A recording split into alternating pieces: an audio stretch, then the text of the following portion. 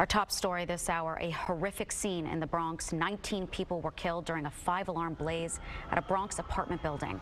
Officials are calling it the worst fire the city has seen in 30 years. Let's get outside now to Fox 5's Robert Moses. He's live in the Fordham Heights section of the Bronx with the latest details. Robert? Kayla, adding to the tragedy here is the age of the victims. Among the 19 dead are nine children. And when you look at this building and you see the kaleidoscope of broken windows, you realize no corner of it was spared.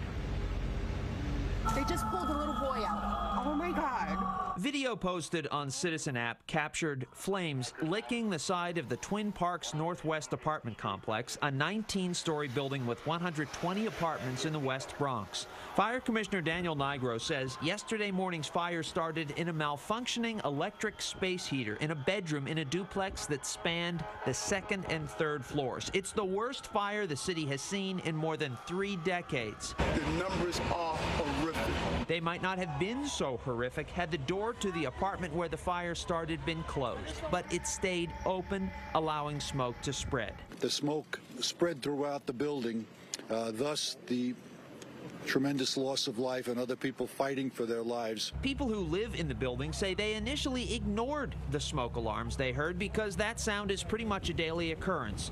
This time, though, was different, and those inside quickly realized they had to get out. When we opened that door, the smoke just hit us, and we ran to the hallway to the exit, and I just panicked and I got scared. I was coming down the stairs and saw a body sitting on the floor.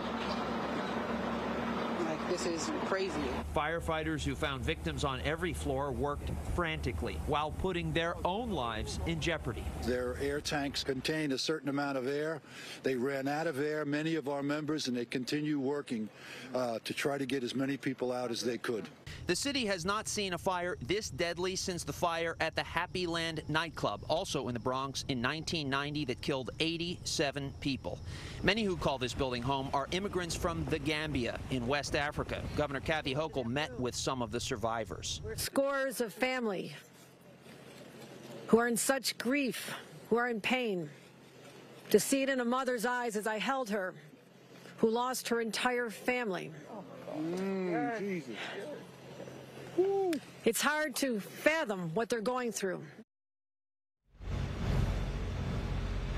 Just an inconceivable loss of life, and we're also told that at least 13 people suffered critical injuries in this fire, which means that this death toll conceivably could climb even higher. Kayla? All right, Robert, thank you so much.